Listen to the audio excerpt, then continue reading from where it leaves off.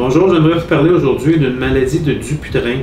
Il s'agit d'une cicatrisation des tissus de la paume de la main qui peut tenir un doigt croche.